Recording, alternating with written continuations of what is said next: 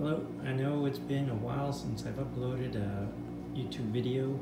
This is the last record I made. I made a few adjustments. I upgraded it to all digital. Um, basically, one screen was VGA and one was HDMI. But uh, that was the last upgrade, but I actually worked on a new project, something to challenge me, but I also do photography, so this is something that I built was actually a portable um, photo booth. It's an open air photo booth, which I'm about to show. This is the stand, and I made it out of a Pelican case. It has a touch screen. It's got the camera, uh, also able to print. It's self-contained. I got the flash turned off right now, otherwise it'll blind the light. But you just touch the screen and it just starts taking pictures. But uh, it took me a while just to get everything situated because actually the printer uh, is going to go inside it, so it's going to be all a self-contained unit.